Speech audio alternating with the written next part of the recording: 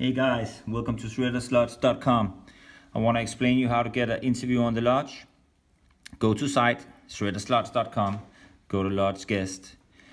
Go here, lodge guest interview, fill out all all the questions, answer all the questions.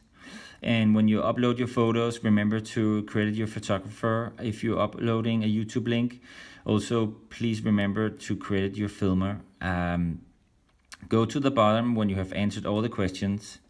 Press submit answers here and you will be online shortly. Thank you guys for watching and tuning in. Take care. Bye.